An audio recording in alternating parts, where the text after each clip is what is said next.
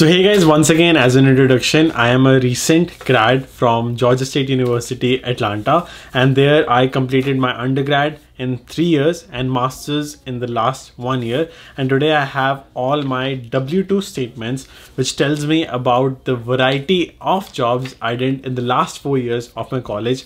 That includes working in dining hall, uh, RA, TA. I'll be giving you details of all those jobs with my salary slips, so that you can get to know how much money you can make for each category of these jobs and how to maximize your college income. So let's get started. But first this video is brought to you by Wondershare Doctor Fone. Last time aapko yaad hoga, if you remember last time I was able to transfer my WhatsApp data from Android smartphone to my iPhone within five minutes but now i actually forgot my android screen lock of my oneplus 5 phone and I was able to recover it like a charm in just less than five minutes. So all you have to do is connect your phone using a USB cable to your MacBook or to your Windows computer. And then it'll tell you the steps. And once you complete those steps you will be able to reset your screen lock. But you have to remember that it will clear all the data of your Android smartphone or of your iPhone. And it can even recover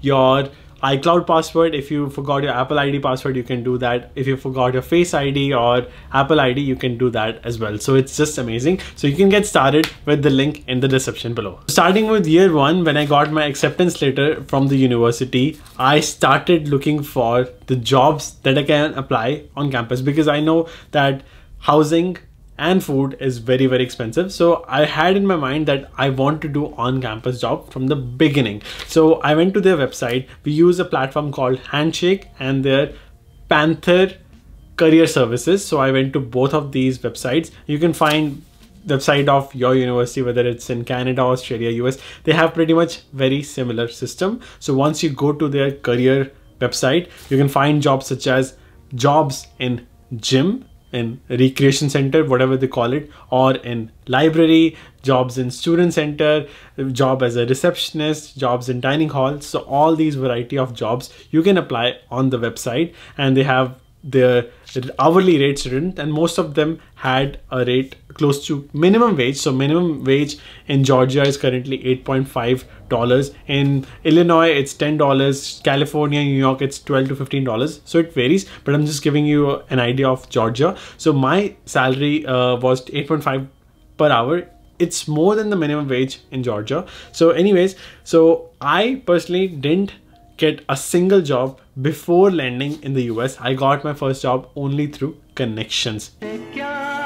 Even it was uh, a simple job working in a dining hall, cleaning the tables or washing dishes. So I got it through my best friend Naman, and he told me he's already working in a dining hall. So I went to the same dining hall. They told me we don't have a lot of shifts open right now. So they gave me only two to three options that the shifts were at a weird timings or at weird timings such as they were from 1 a.m. to 4 a.m. on Monday and 3 a.m. to 6 a.m. on Tuesday.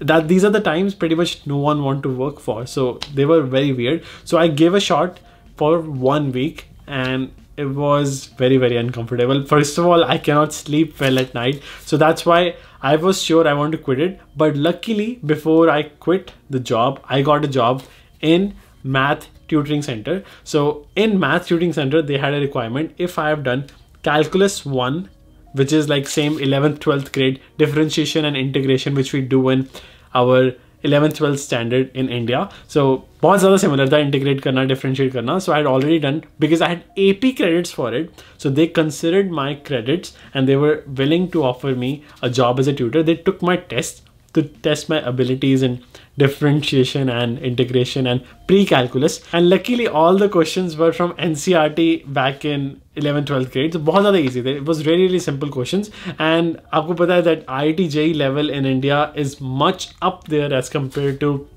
like the level of difficulty in even colleges in US so that's why it was easy for me and I cleared it. And I started helping students in math calculus 1 calculus 2 pre-calculus trigonometry and it was very simple. And there also i was paid 8.5 dollars an hour. So the salary in as a math tutor and versus working in a dining hall was absolutely same. So that's how i started working. And in the beginning since it was my first job i didn't get a lot of hours. I used to work for 12 hours but whenever someone was absent or you can say someone was sick i used to take the shift. I used to ask them just give me this shift so that i want to maximize 20 hours per week of my job. So that's how i started to make around 500 to 600 dollars and my rent was 700 dollars so it was definitely not enough. And job on campus whenever you're living on campus you pay in advance. So I just had to worry about my food expenses because I already paid by then. So anyways it was good amount of money.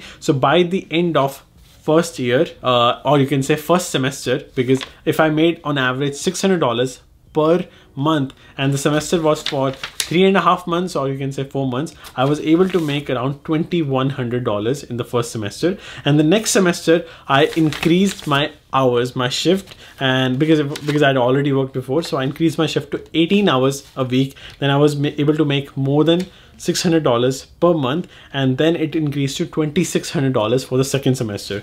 So by the end of two semesters i made around four thousand eight hundred dollars and it was it was i think good good amount of money. And luckily after two semesters were over in the summer of first year i got my first internship. And in that internship i cannot reveal the exact amount i was making. You can say i was making close to 20 to 30 dollars an hour. And that internship was also through connections. And anyways uh, in the first internship i made close to 9000 to 10,500 you can just guess the amount because I cannot give you the exact money I could make in that internship. So 9,000 to 10,500 dollars you can say. And that's the amount of money I've made in my first year. So if you total it up it'll be we can round it off $10,000 in internship and around $4,800 in my on-campus jobs. So that comes out to be 13,000 800 in my first year. I think it's a good amount of money considering I paid around $35,000 in tuition. It is definitely less than what I paid. But anyways, let's move on to the second year. Now starting with year two, I was able to continue my internship. So I was doing full-time internship that is 40 hours in the summer. But when the next semester started in the second year, I asked them, can you offer me part-time internship? And they did, and it was legal in the US. So part-time internship, you can do unlimited, there's no bound, but full-time internship, you can do only for one year. So that means you can do full-time internship for four years. So anyways, uh, that's the legality. So when I was doing part-time internship, the amount of money I was making was much more as compared to any on-campus job. So that's why I was not just able to pay my housing, my food expenses, but at the end of the first semester of second year, I was able to save some money as tuition for the next semester as well. So that's how my financial independence story started. So that internship was very, very highly paying, but it was very tough time, you know, uh, taking five to six classes and then doing internship as well. So anyways, and at the end of my second year, I had made close to around $10,000 or more before even doing internship in my second year so that was just crazy. So anyways after those two semesters because each each year has two semesters fall and spring so after fall plus spring semester in my second year i did full-time internship at another company and that was paying me even better than before. So then i once again made close to 10000 to 11000 dollars in that summer as well because range is very similar like it will be like thousand jump every single year. So uh, anyways i made that money and then paid my tuition for third year first semester using that money. So that's how it continued and that's how my financial independence journey continued. Anyways so that's the amount of money i paid. And uh, also talking about the tax return. So since these are like w2 statements it has my social security number so i cannot show you these. But uh, in these it has written amount of tax i paid. So i can tell you that for the first year if i paid around $3500 of taxes i got $1500 back in the tax return. So if you are in the US, you will be filing your tax return. The deadline is April 15 this year and you will be getting some tax return. That includes your tax return, some for state, some for federal, and you don't have to pay FICA taxes being an international student in the US. So I was getting all that back. Anyways, so now talking about third year so as, as i've already showed you my income for two years. Third year i chose not to do part-time internship because it was very stressful. I wanted to, you know, uh, work on campus because first of all it's convenient. You don't have to travel. And at the same time it is less stressful. So that's why i chose to work as a TA. So I was working as a computer science TA as compared to a math tutor last time. And this was a 16 hours shift, eight hours of grading the papers of students who took computer science classes such as data structure, system level, and computer architecture. So if you have taken these classes, you can become a tutor for these classes. So that's how it worked. So once you become senior in college, you can become tutor for the junior level classes. And it's same in IIT as well. I have checked with IIT Delhi and they told me the same. Anyways, so for third year i started doing that. And at that time i was paid between 10 to 12 dollars an hour and it was very highly paying. And it was not that stressful because you don't grade papers all the time. One week it's like lot of grading work. One week it's chill. But eight hours of tutoring is consistent. So i really like that job. Anyways and by the end of uh my that, that year i was still financially independent because i was making 600 to 700 dollars and my rent was still 400 dollars. So it was good amount of money and i uh, I had to, and I was able to pay the tuition using the internship money. So I was still financially independent. Anyways, now starting with year four. So year four, that was my master's journey because at the end of my three years of college, I had completed my undergrad and now started doing masters. So when you start your master's journey, you are doing GRA, not undergraduate research research assistantship, not undergrad teaching assistant, but you're actually doing graduate research assistantship and graduate teaching assistantship. And this time I was just graduate research assistantship. So i had a research professor with whom i was working and it was also a good amount of money that i was making every month and that was a stipend. And that was once again in the range of 600 to 700 dollars as well.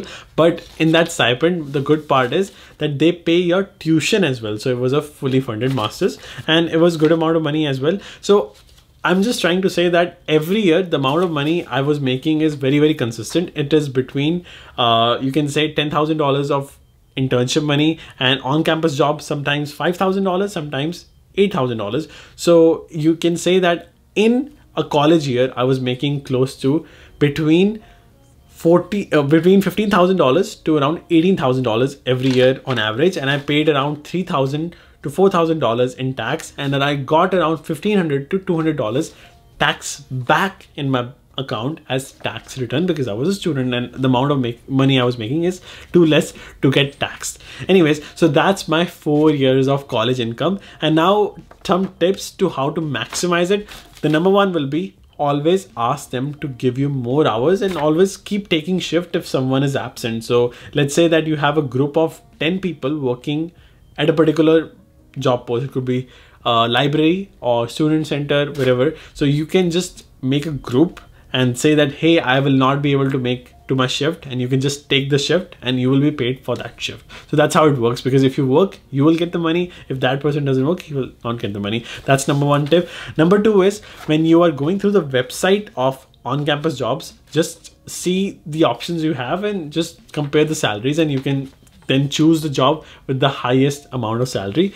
And other will be doing a part-time internship. So once you've completed two semesters fall plus spring in the US, you can do full-time internship or part-time internship. And part-time internship at a particular company pays you highly more, uh, way more than any on-campus job. So these will be some of the tips, and these were my college income. And other, other, other than that, you have to keep in mind is your job has to be related to your major. For example, if you want to work at a random gas station which is not in your university, that will not be allowed. So on campus job or the jobs directly related to your major. So that'll be it. So i hope this video is helpful because the previous video i had made on jobs i think it is still up to date. Uh, it is still valid currently but i just wanted to give you more information. So thank you so much for watching and i will see you guys in the next one. Goodbye